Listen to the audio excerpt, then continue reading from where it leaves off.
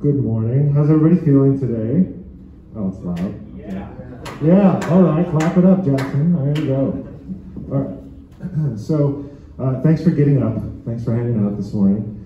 Um, I know it's every morning seems to feel a little bit earlier at the conference, but I'm glad glad to uh, hang out with you all this morning and hopefully give you some information uh, maybe that you have thought about before, or maybe another angle of thinking about, you know, making a record, putting out your first record, and uh, and all that kind of stuff. So, uh, yeah, like Derek said, I am assistant professor of jazz trombone at the University of Texas, and uh, back in 2015, I decided to start a record label, and I never thought that I would start a record label, and I didn't know what that entailed and um, I'll kind of get into that in a minute. But um, I have been doing this for since 2015, putting out records, uh, mostly focused around my peer group uh, from New York. I moved to New York in 2010 uh, and went to Juilliard school. And then when I was at Juilliard, met a lot of great people. And then I saw a lot of people getting taken advantage of by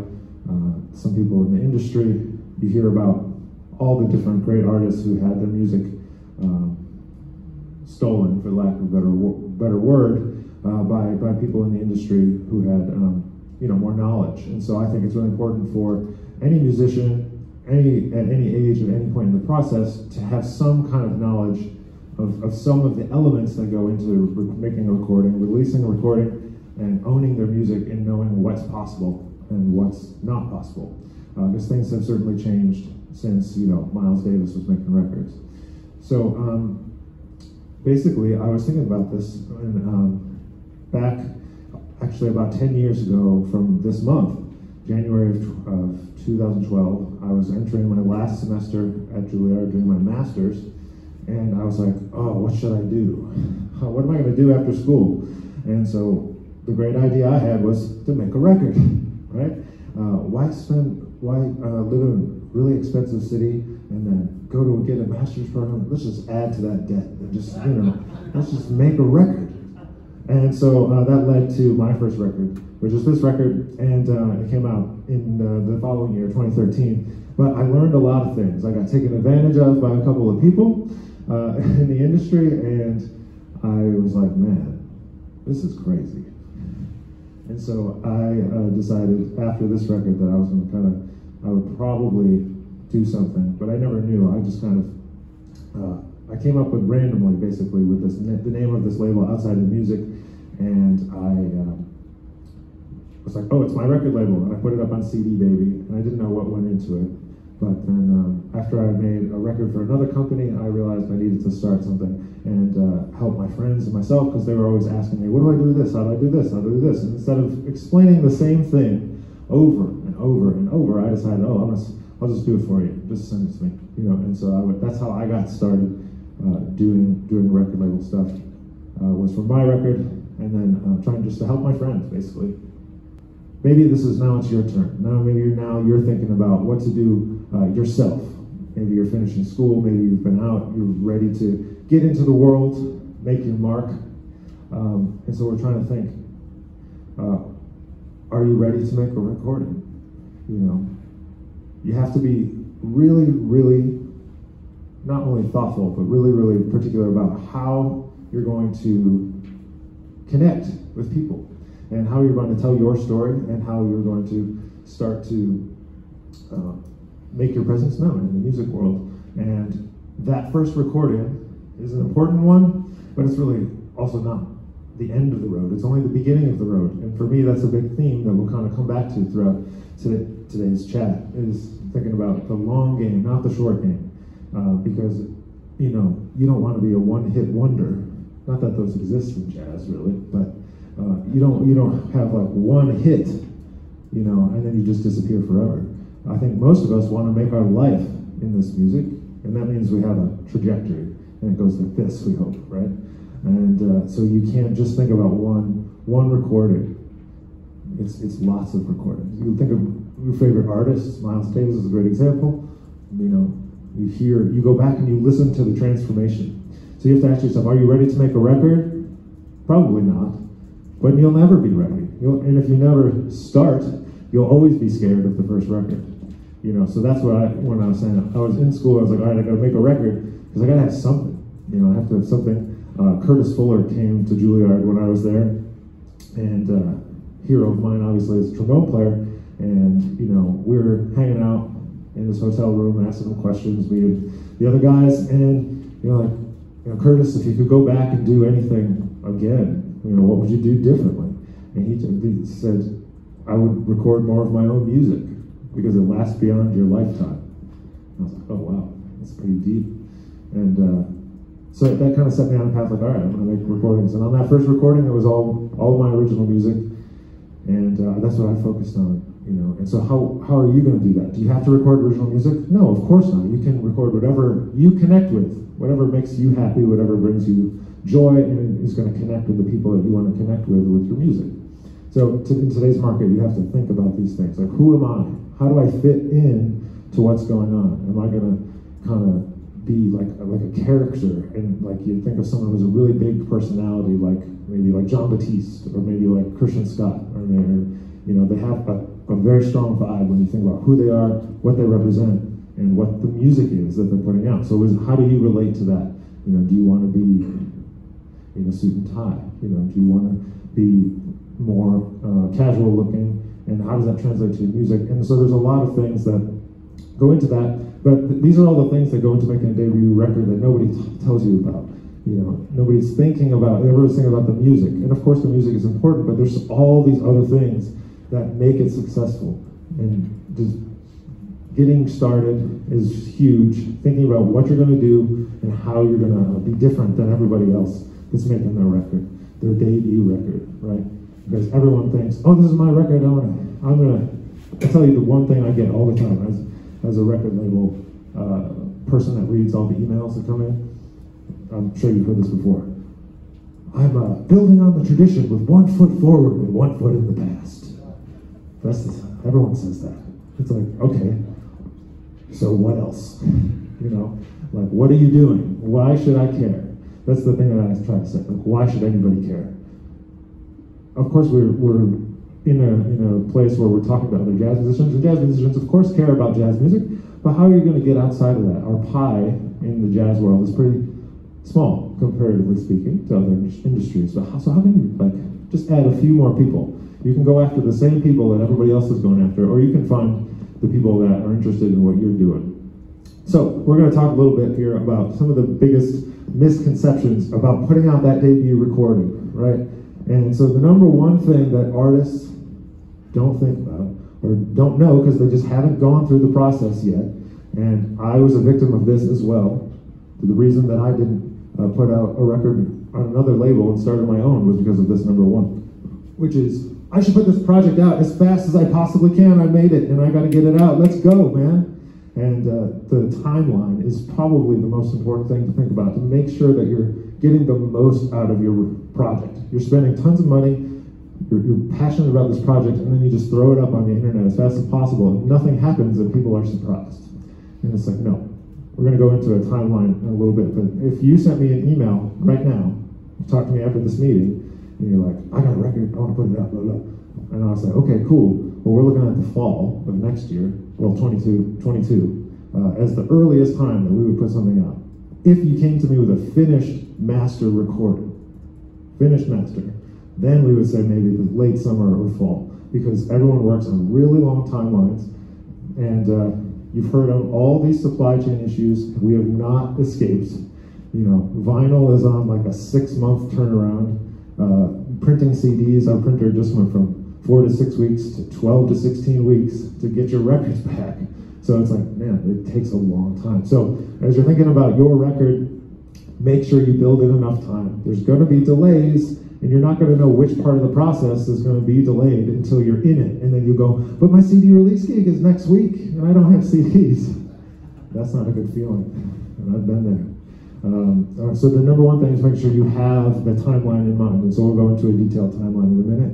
Another thing that people think is that they're going to make their record and they're going to, I'm going to shop it around and somebody's going to give me a record deal.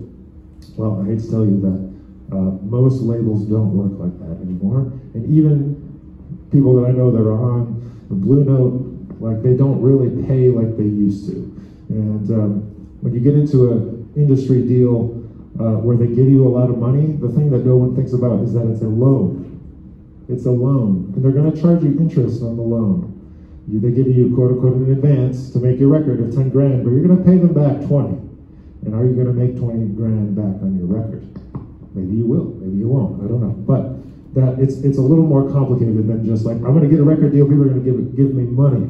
So the way we set up our record deal is to really try to enable artists to take control of their music. They retain 100% of their copyrights and publishing, and we don't touch any of those things because that's their intellectual property, and that's important to me. I don't want anyone stealing my tunes, so I'm not going to steal any of it, anybody else's tunes. And um, so that was like the foundation of what I wanted to do with the record label, make sure that we were not taking anybody's copyrights and tunes uh, and trying to make the deal in their favor. So uh, we, we really, you know, make that a priority with Outside in Music. Uh, the next thing is I have to make a huge splash with the recording. You know, I talked about this before, but that's a huge problem. Everyone thinks that, oh, I'm going to make this record and I got to, you know, get out there. It's not how it works, man. It's not how it works. Uh, you have to build slowly over time. And so getting back to being ready and not being ready, you know, you got to get something out so that you can build on it. You got to make a, the, the purpose of that debut recording is to make a great first impression. And so I always recommend people to try to make as good of a first impression as you can on all of the people in the industry with that first release, but don't expect that it's going to be like this huge thing. It's because it's just probably not. You know, if you think, I can't really think of anyone that only made one record and then made a huge splash in our industry. Everyone makes multiple records. Some do better than others, obviously, but uh, thinking about the long game. Again, I always say, live to fight another day. You know, don't spend all your money on this first project, and then you have nothing left, or you get so discouraged. You know, so you have to think about the long game. And then the last, another classic thing that I hear all the time. People don't want to think about any of this stuff that I'm talking about today, uh, about the, you know, all the things that go along with the recording. They say, my music will speak for itself. Well, I'm sorry, your music does not speak for itself. I have no idea Uh, what you're doing with your music. You've got to tell me why I should care. So if you could think of anything, take away anything from this meeting as you're thinking about planning out your recording, why should anyone care? Why should they care? And answer the question. They should care because I am really passionate about X, Y, Z. I am making this music that brings people joy, whatever it is. I'm building on the tradition of the jazz messengers, you know, whatever you are passionate about, but it, the music does not speak for itself. You have to tell people and you have to think about how you can spread that message, uh, especially when there's so much stuff coming out every single week. Hundreds of tracks, hundreds. Um, and it's really interesting, you know, you think about we think about jazz and we think about the avenues that there are to get your music out there. The number one thing right now, obviously, is streaming, and number one thing that everyone wants to get on are these Spotify playlists, right? But what's interesting about the Spotify playlists, if you go, the biggest one on Spotify is called State of Jazz. And if you go and you listen to State of Jazz, you might have to go like 12 tracks deep before you hear an acoustic recording uh, I was talking to a friend last night, and we were talking about like, what should I do to my, my record? They re-record. I'm like, man, you got to check out what, what's happening, so you know that if you make a record that sounds like the Jeff Hamilton Trio, which is killing, it's not going to fit on these on these um, present day state of jazz playlists. You, you, it's like electronic synthesizer groove based stuff, which is cool. And has I mean, no judgment against that music at all. It's just the fact that acoustic jazz music doesn't even fit into the jazz playlists anymore, uh, which is very interesting. There's other playlists where it is acoustic jazz music, but they might have, not have quite as many followers. And even Kenny Garrett wasn't at the top of those of those playlists. So it's a very interesting time uh, to release music. But you know, I have other artists who are making you know maybe a thousand dollars a month in royalties who you might not have ever heard of, and they made a record of standards, and they're on. Um, there's this kind of invisible um, part of Amazon Music where when you tell your Alexa like, "Hey, play," you know, play jazz, play whatever, you know, there's a, like a radio station that comes on. And if you get onto one of those radio stations, nobody will ever know that it's you, but you can get some royalties from that and you can make some money. So when you're getting back to thinking about like what am I doing with this recording? What is it for? What is the type of music that I want to release because I have these goals? You know, you have to think about how that how that relates. And so we had another artist that released an amazing piano quartet record back in October. And he's like, I want to do a playlist promotion strategy and talk about getting on these Spotify playlists. I said, well, what's the goal here? You want to get on like these uh, curated editorial playlists where you're going to, you know, be alongside these other records that I was just talking about, where your record's not even going to really fit because it's a killing acoustic quartet record, but you're amongst all this electronic stuff. Or do you want to make money off of this? And he's like, well, I guess the second one. I said, okay, well, then let's use the most boring track and promote that one. And you'll be on all of the like coffee table jazz and like all of this stuff. So you got to think about creative ways to enable you to make the most out of your art by saying, I'm also going to make a standards record, and that's going to get on these playlists. Will give me a little money to do the next project.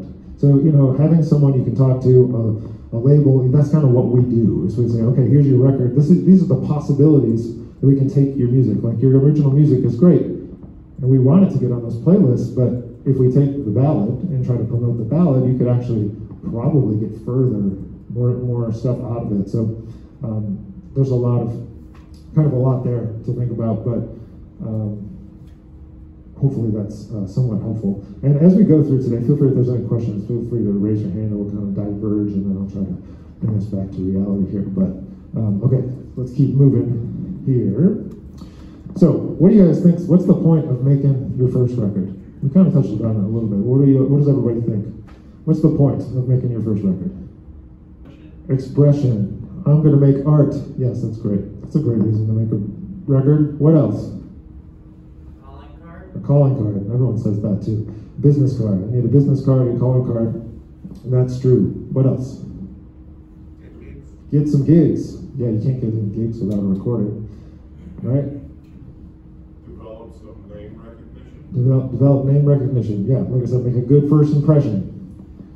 I think the number one thing, all of those things are true, but the number one thing that you're trying to do is to build your audience. And so the audience is a lot of different people. And so when I say like, what are you, who are you trying to reach, or what's the point, or why should anyone care? This is all different for different people. Um, the jazz radio people are looking for one thing. Downbeat magazine is looking for another thing. Uh, I, as the label owner, am looking for something else. Uh, the people that love Art Blakey are looking for one thing. People that love Jacob Collier are looking for another thing. People that love Snarky Puppy, that's a different thing too. So you're thinking about the debut recording is to start building your audience because if you have a strong audience, you can basically do whatever you want. And sometimes we have it backwards, I think, in the jazz world that we want to kind of come at because because of the because we come through like a lot of education and we're professionals when we get out, we think, you know, this should happen. You know, give me give me the money. Give me the money, give me the gigs, right? But it's like, well, you need an audience. If you have an audience, you don't have to wait for the club owner to give you the gig. You can say, man, I'm going to bring 500 people to this gig, and they're going to pay me $10, and then we're going to make $5,000. Like, it's very easy math, but we sometimes we don't want to think about it that way because we want the risk because we put in so much time, we want to put the risk on the venue, and we have to be a part of that conversation. I think, you know, we have to think about building that audience slowly, like I said, through making multiple records, aiming at different parts of the industry, different parts of the audience. Um, I'll tell you, you know, last year, last year, 2020, I put out a record that uh, was called Cast of Characters, and it was the record that I was most proud of compositionally and all of this kind of stuff. Like musically, I was pretty into it. I was like, man, this was good music, and I usually hate my music, so um, I was really proud of it. And it, when it came out, and of course, that's the one that did the worst, right? And the, the record that I did the fastest, with almost no thought at all, has been the one that has performed the best. And so sometimes we don't know from the outside how to assess like which thing is the the most not important thing, it's going to be the most uh, accessible thing for the audience. Because this was like a through composed a bunch of tunes that were long. They had different, you know, time changes and all this stuff. It's cool as a musician, but the radio hated it. We didn't want to play any of that. So another record that was a standards record, they, they wanted to play it, and it's got lots of lots of um, radio play. So it's something to think about um, in terms of doing this. If you want to learn more about building an audience, I would highly recommend a um, there's an article by a great tech writer named Kevin Kelly, and the article, is called 1,000 True Fans. And uh, a lot of people talk about this, uh, but I would just recommend you go and read that. It's just about building one fan at a time. Yes? If, like, say your group or whatever has to cater to different subsets of audience, like, Mhm. do you want to do that? Do you suggest, you know, two different recordings to do that, or are you trying to get each of those audiences in the same recording? Um, I've done both. People have done both. I think um, in a de- debut recording, I think doing both is probably the best thing. But usually, what happens in our case is that we get the record after that it's finished, the artist has made it, and we didn't get to have this conversation first. You know, um, I think ultimately you still have to make the record that you want to make, right? So uh, regardless of what I'm telling you about the marketing side or like picking this or getting on a playlist, ultimately you still have to resonate with whatever it is. So that means not recording particular music or just doing your vision, that's cool. But just knowing the expectation of like, okay, well these people aren't to like it. Like so, I know like, oh, if I put my original 12 minute tracks out here, the radio is going to be like X. Just know that, and I'm like, I'm cool. That's fine, you know.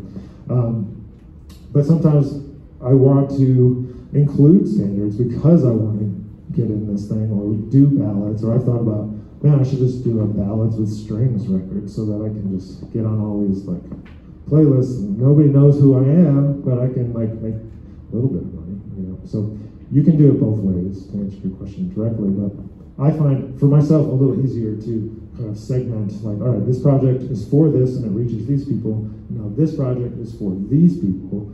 Like uh, this project's for my trombone nerd friends, and then uh, this one's for the jazz audience, and this one's maybe you know I had a fusion band in high in college, so like we did that. And that's for some other people. So I kind of segmented off, um, but you can do it both ways. All right, so some important elements to consider when you're doing this uh, planning for your record. What's the concept? I said, like I said before, the music does not speak for itself. What's the concept? Is it an Art Blakey tribute record? Is it uh, a trombone ensemble record? Is it a brass record? Whatever it is, what's the concept? Uh, is it have a, like a macro socio-political angle? Does it have, um, you know, is it about something? Does it have a narrative? Uh, so thinking about that, what's the concept? What's the story? You know, what what does someone get out of it? How do they know why you made this? Why should they care? That's the same thing. What's the concept? Why should they care? Now, who's in the band? A lot of times, people do two things usually. One is they hire their friends for free to make the record, and that's fair. I did the same thing. Uh, pay them whatever you can afford. Um, but as you move through the process, uh, the other thing that people do is the opposite end of the spe- spectrum from that, and they say, "I need to hire Ron Carter and Jack DeJohnette and be on my trio record," and they spend twenty-five grand getting those guys on the record, and then it may or may not pan out. I mean, it's great. I wish I could hire them too, but um, thinking a little bit more about like, okay, who can I hire in my band, and what are they going to do for the project musically, of course, but also after the music. Like, what are they going to bring to the table? Do they know somebody that can connect me to a record label? Do they know somebody that can help me get a gig? You know, do they can they teach me that? Can they represent what I think? If you're making a record about um, a certain a certain artist, right? Like, I keep saying Art Blakey, but it's an obvious example. Can you hire somebody that played with Art Blakey? You might be able to. There's a lot of those guys that are still floating around, um, and they can help you to develop what your concept, and your story. You can get that connection, the deeper connection to the ideas behind your recording. So thinking about a little more deeply other than those two things. I try to find somewhere in the middle, not hiring the most expensive people and not only hiring my friends that will do it for cheap. Somewhere in the middle where you're being thoughtful about how it rep- is represented, your music and also the stuff outside of music uh, on the promotion side. Okay, and then, then we have our budget. Um, unfortunately, I didn't believe my teacher. I went to Eastman for my undergrad. Clay Jenkins, a great trumpet player, we were combo class. I don't know how it came up talking about records.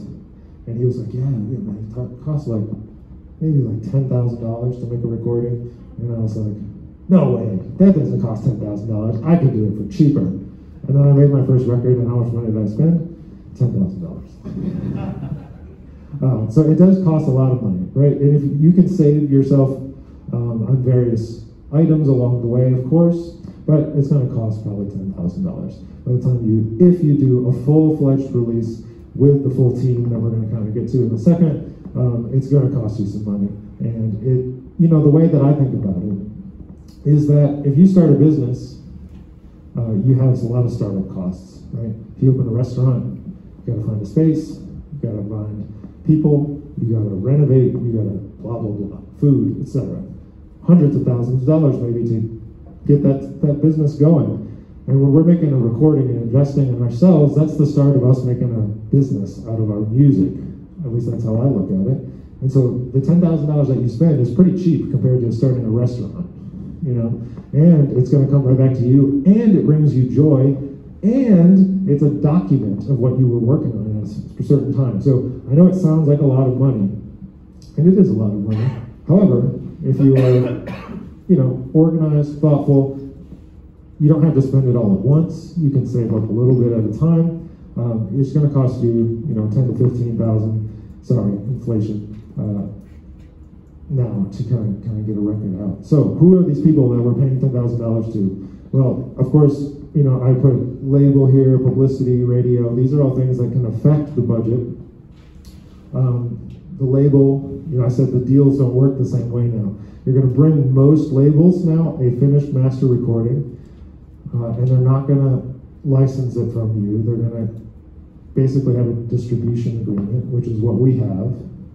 It's, a, it's an agreement where we agree to help you get it out there, right? And for a small, in our case, it's not that big of a percentage, but some people take a lot of money, a lot of percentage, and that's something you have to kind of research. But uh, so, do you have a label? Do you need a label? Why would you need a label anyway? You know, I at this point, you know, it's super easy to throw things up on the internet, but do you have someone like me or another experienced person that's put out records that can help tell you which tracks to pick to pitch to Spotify? Be like, okay, pick that one. That's the one. Pick this one. You know, do you want to have a team to help you? Basically, that's what a label's going to do, um, and that's like the value I think that we provide is having someone to ask questions to that kind of knows what's up. And in our case, being musicians, you know, we are the guys that are on the team are all musicians and uh, care about the music first. So, uh, and then the more questions from there is like, okay, do I use a publicist? The publicist is probably the most important person on your team. That person is going to be the conduit of your music getting to the people. Now, this person is not a magician. This person is not a wizard. They cannot just invent things out of thin air. You have to have a concept. You have to. If they don't have a story, they cannot sell your story to anyone. Downbeat also will tell you, go over to the thing and see, does any does anyone send in the music saying, I have one foot to the future and one foot in the past? And they'll say, yeah, every single person says that too. Right? So you have to have something else, some kind of story, and that publicist person is going to be the conduit. There's lots of great ones, and but what I recommend is spending as much as you can on this person, but not spending all of your money on this person, right? So these type of people, publicists, you can expect somewhere around a thousand dollars a month to, to pay for somebody to do this. Um, that's really good. You can find cheaper people, you can find more expensive people. Um, you have to find somebody that wants to invest in you. The hardest person for the publicist to work is the first record person, the debut record person. And making it easy for them by having a strong concept, maybe by having some names that relate to the concept, uh, name musicians, I mean, that are related to the idea. uh, are very helpful in getting your foot in the door. Uh, so with this publicist, you know, be careful. This is the person where I had a bad experience. I'm not going to name names while we're talking here, but um, the person I hired told me he could do everything. Oh, I'll take care of everything. Blah blah blah. Pay me this amount of money, and I'll just handle all the press and all the radio and everything. I was like, oh, this sounds great. But you, the reason I have it listed here separately is because when you think about this, there's hundreds of people that they're going to contact. If you just think all the all of the radio radio stations, if you think about all of the newspapers, you think about all of the jazz outlets, that's a lot of people. It, does that person actually have enough time to chase down all the records that they just sent out? A radio person is going to send out maybe 250 CDs. Does the person that's chasing down Downbeat and Jazz Times also have time to chase down 300 recordings? Well, I'll tell you, no. So if you find someone that says they're going to do both, you should be very uh, wary. You should ask, well, how are you going to do that? Is this like an abbreviated campaign? Is this your full campaign? Uh, because people specialize in these areas, publicists, jazz radio. Um, so that's the team. You need your label to get the music from your studio to the street. You need the publicist to help tell your story, and then the radio, obviously, for the radio. But um, some people ask questions about the radio, like, why are you doing radio? Radio is, does anyone listen to the radio? Um, and I contend that even if the numbers are going down of people that listen to jazz radio, if you think about the people who are most involved in a scene uh, anywhere, it's often uh, people that work at the radio station. Um, they control whose gigs get on the, on the air, right? So if you don't invest in radio, um, there's a good chance that when you go to that town, they might, they, they haven't seen your record come in from that conduit. Remember I was saying for a publicist, they have a, that's the person introducing your music. It's the same with radio. They're introducing your music to their audience, and if you get it, from, if they get it from a trusted source, they're going to be more likely to take a look at it than if you get it from, you know, me putting it in an envelope and sending it directly from myself. So uh, I think that you're reaching the tastemakers in all the markets. That's what I think about radio.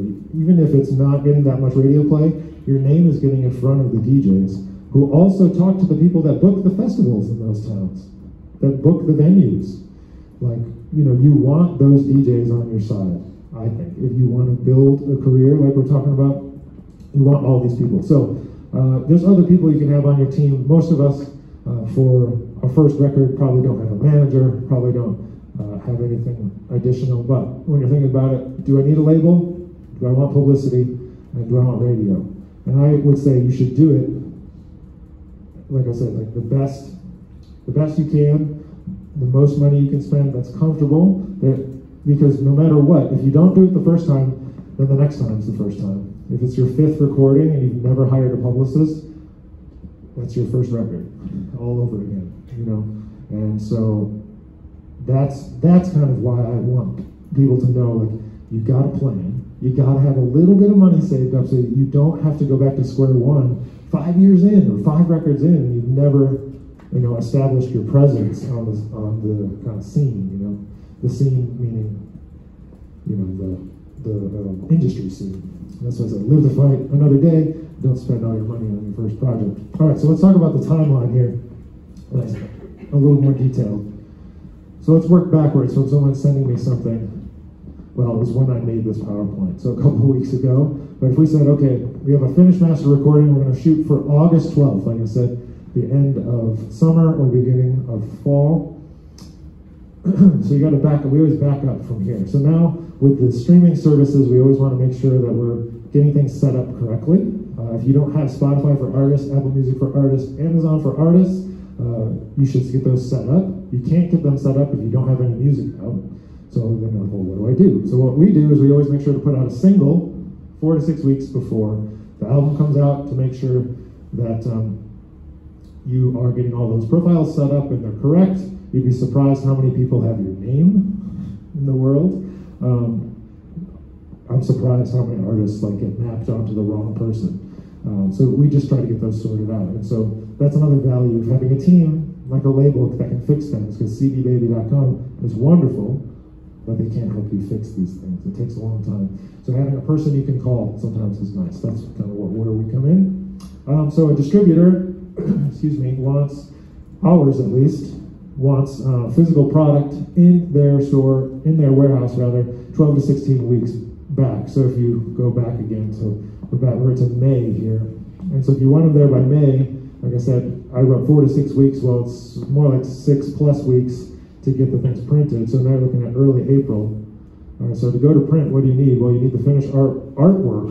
Okay, well, I need to hire an artist, and we got to go back and forth. We got to talk about the concept, and we got to make sure that we get, you know, the catalog number and the websites and uh, all everyone's bio and write about the record and, and make sure that I put the track timings on the back cover because the radio person needs to be able to know how long the track is to play it on the radio. So if I hide it inside the booklet, they're never going to know.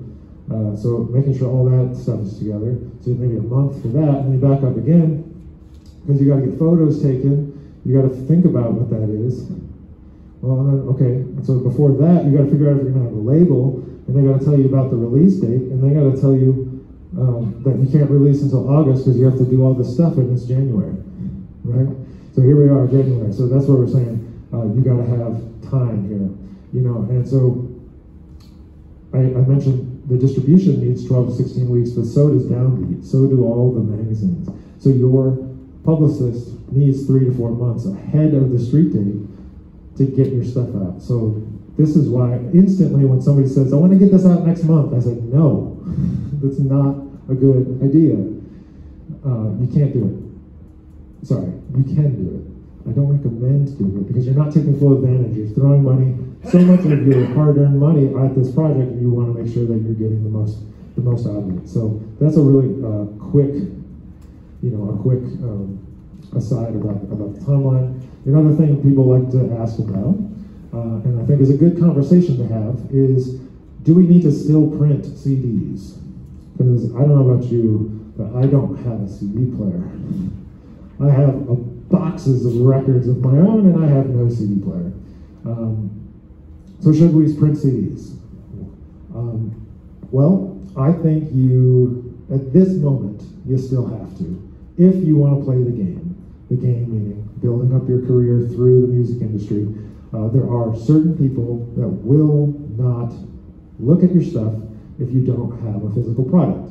And some people look at it as a barrier to entry some radio stations literally don't have the mechanism to play streamed music or digital files. They have to put it into the CD thing and press the button and they, they're analog, right? They want that. Um, so having that little disc to remind somebody that you exist, that can be really important. And so even though most people don't have CD players, at this point it's still important to have them. Uh, like somebody said, as a calling card, it gives people something to have a, a great set of coasters in your house. Um, but no, uh, seriously, you do have to have CDs to uh, give to these people, especially the radio people. Uh, and, it, it's kind of like a barrier to entry thing, you know. It's like if you're serious about your music, you're going to print CDs. All right, now let's, while I'm talking about that, this is not on the slide, but it just occurred to me that I should mention something about this, which is vinyl. Everyone says, man, my uncle really loves vinyl and he really wants me to print vinyl. And it's like, okay, cool. Well, vinyl, like I said before, is a very long delay to print. It's going to take at least six months to print your vinyl. Um, it's only 22 minutes a side. Most people's records are almost an hour. So are you going to print a double LP? That's so expensive. So expensive. I mean, you're talking like to print 200 vinyls is going to cost you like $2,500, $3,000 and your uncle's gonna buy one. You know, I'm like, and I think sometimes we think everyone's asking for vinyl because three people emailed you and your uncle. So you sold five maybe, and you've got all these vinyls and you've invested so much money. So I, I usually steer people away from it unless you've pre-sold like a hundred vinyl and you know you're gonna sell them. It's really a difficult thing because uh, lots of people tell you they want something before you ask them for the money. you know? They're like, oh, we want the vinyl. But then once you spent that money, you're like, oh, I need to charge $40 for this vinyl. nobody wants to buy it. So just things to keep in mind. Um, nothing against it. If you want to do it, you should do it. Like I said, when our artists come to us, we want to realize their project the way they want to realize it, and we don't want to tell them, unless it's a really bad idea, we don't want to tell them no. You know. So uh, that's just a, a, little aside about, about vinyl. Uh, okay. Talked about this. I can get it up next week, but don't do it. You know, and we talked about this before. So what? You know, why should anybody care? And I'm going to bring circle us back to this point because that's the thing. Why should anyone care? What's the story? You know, it's your debut recording. I get it. You want to share all of the breadth of what you can do. You want to share all of the great things you've been working on, all your great music, but you got to think a little bit more. Like, what else? This is my first album. It represents me as an artist. And think about that. Why should anybody care? Something you can do that's pretty useful is to do some research, like I was talking about before, about the Spotify playlist. What's getting played? But think about also uh, peers, colleagues, heroes. What do their records look like? What do they sound like? You know, how, how what does the package look like? What does the package feel like? What kind of paper is it on? I know that sounds pretty boring, but like certain like certain printers feel really cheap when you touch the paper. You don't want to feel cheap, I don't think. You know, so how does it look? Did they hire a graphic designer, or did somebody open up, you know, their uncle's computer, Microsoft Paint, and draw? Man, I'll tell you, some people think they can do their artwork. They can't do their artwork. Uh, you know, it's it's important to invest a little bit of money. And there's a lot of creative ways to find people. Fiverr.com it's a great resource. Two with two R's, F-I-V-E-R-R. You can find some graphic designers there. Um, and then what did the project sound like? Like what actually what kind of music is getting put out? You can see different labels are putting out different types of things.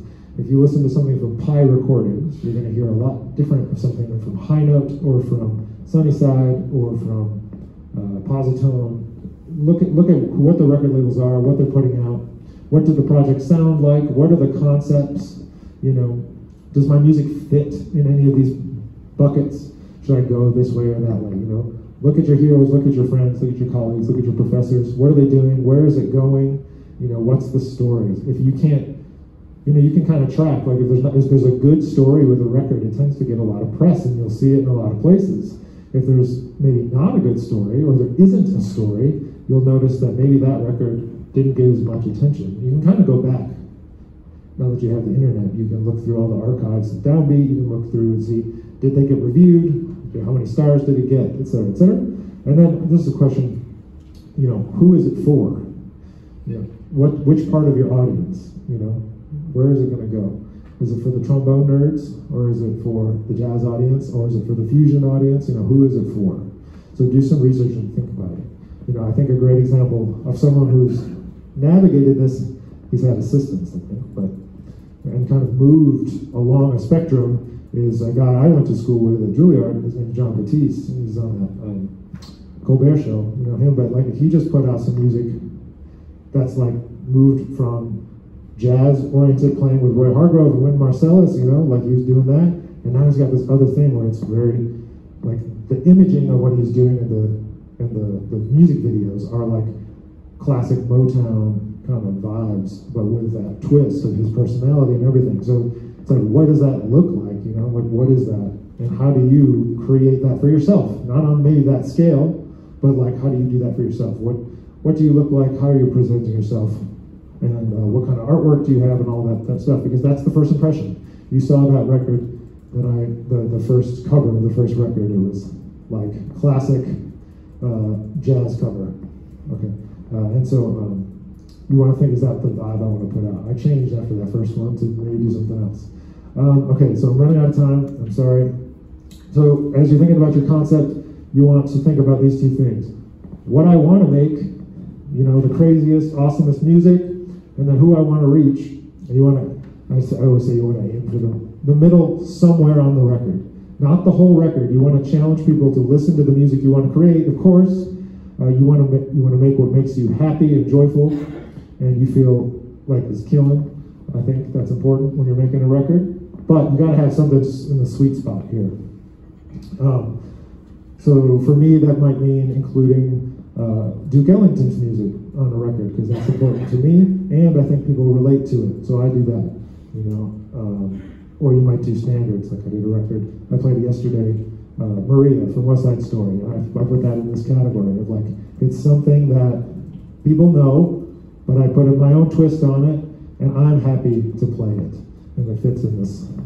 We're in Texas, so I had to put a star. You know. uh, okay, we talked about jazz radio, uh, a touring strategy. You know, um, we could go into a long conversation, but part of things you should plan as you're developing your first record uh, is thinking about the long game again and starting to build a touring strategy from day one. So my first record, I only had two gigs for the tour. There was one gig in New York and one gig in my hometown, which was Rochester, New York. And so I played two gigs. And then the next record, I was like, okay, I'm gonna go to Rochester. And then I went to Cleveland. And my parents moved to Phoenix, Arizona, so I did a gig out there. And so now I had four gigs. And then the next tour, I did 10 gigs. And then the next tour was 15. And uh, the tour for Cast of Characters was supposed to be really big, but then we had we had COVID, so that didn't happen. But you know, it's still building over time, and I always invest in a touring strategy. And I don't necessarily make a lot of money on those record tours, but I want the music to get out. I want to go meet those DJs that we were talking to, and so I just budget that into the project from the beginning. How much can I spend on the tour? So there's a lot of different ways to do this. You don't have you can stick your, you can stick your band in a van and drive them around. Or another strategy I've used is finding the best musicians I can in those places. That's what people used to do, you know. People, Benny Golson would go to Chicago and play with the rhythm section in Chicago, then he'd go to LA and play the rhythm section there. And so I kind of took that strategy took my music uh, around.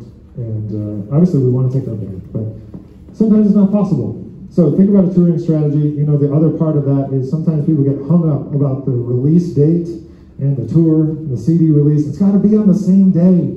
No, it does not. Your tour can be any time during the year. Look at um, like any pop group.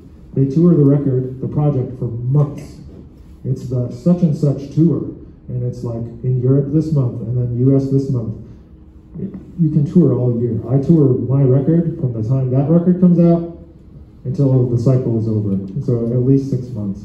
So don't worry too much about making sure you have the dates all lined up. So um, this is my little thing that I talk about. You know, you want to create, connect, and then do it again. So when we talk about records, um, it's making making records, hiring the team to get it out to the people, and you have to do it a lot of times. You know, it's not one record. Like I said, it's this longitudinal kind of idea. Um, so if you want to work with uh, me and this, our team, you know, feel free to get in touch. Um, like I said, what we do is very artist focused, and we have a label called Next Level. That's uh, you could send us some stuff if you want to, you know, check out this the link. But um, it's only for early career artists and people that are releasing maybe not their first record, but uh, early in their career. It could be first, second, third. Maybe they maybe they're that person that has three or four records out there, but they never hired a team. You know, so it's kind of like their first record. Uh, so that's something that we, we kind of do uh, special. And then uh, I'm working on a book with the same name, and uh, it was supposed to come out this month, but it's not done yet.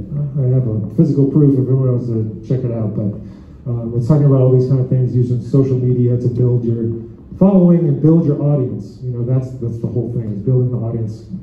Kind of coming full circle here, back to what we started with, and um, we're also launching a program uh, to help early career artists figure out um, what to do with themselves so, and how to monetize their art. Uh, that's called the Outside Incubator, and we're launching this in May of 2022. Uh, first cohort of artists, and so the applications are open for people that want to get involved with that. So uh, all those things are all those things are on our website. But um, more importantly than any of this stuff um, is if there's any questions in our last, well, it's 9.50 now, but are there are any questions I can answer? I'm happy to continue the conversation in the lobby after this, yeah.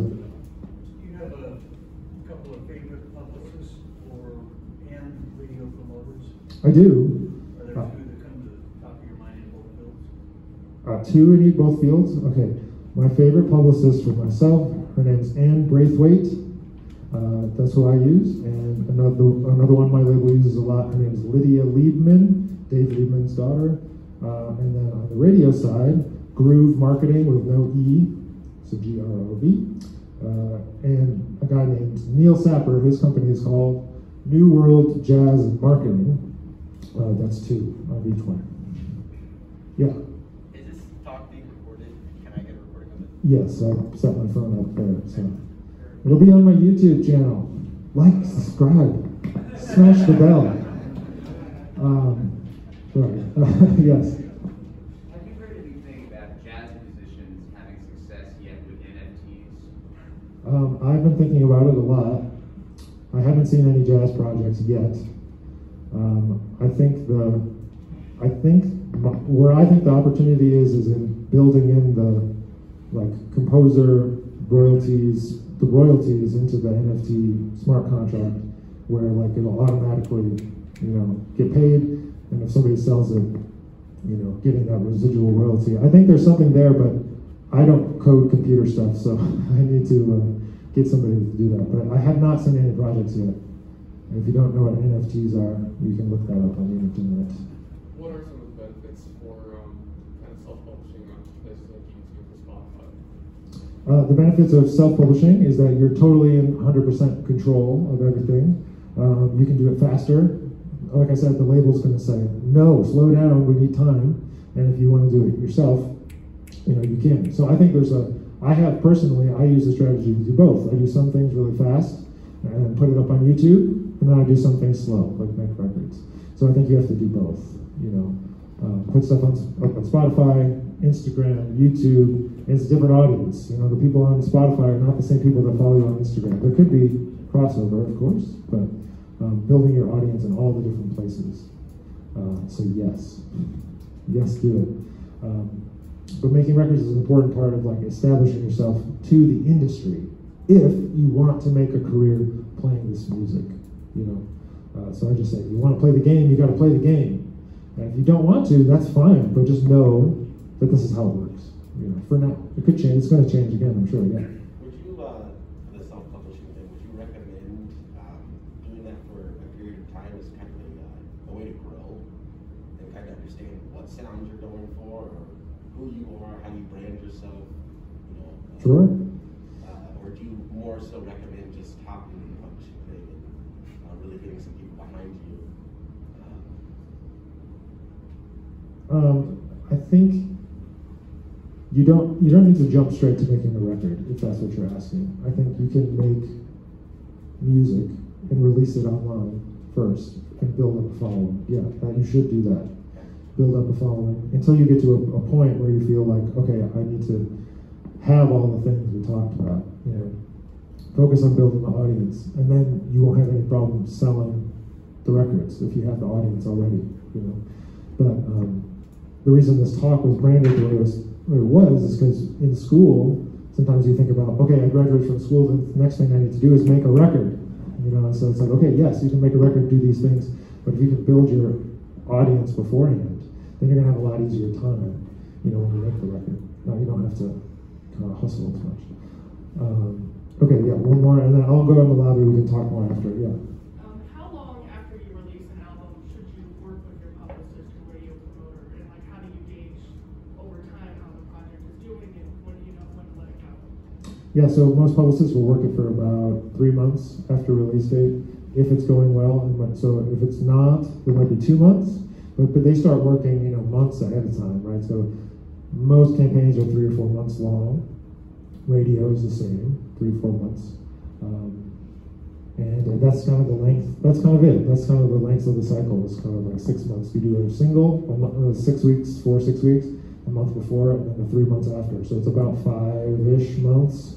Um, and if you're, you can stretch it a little longer, six months, and then you want to wait at least another six months before you do another one. So that's kind of the cycle. Is that's helpful.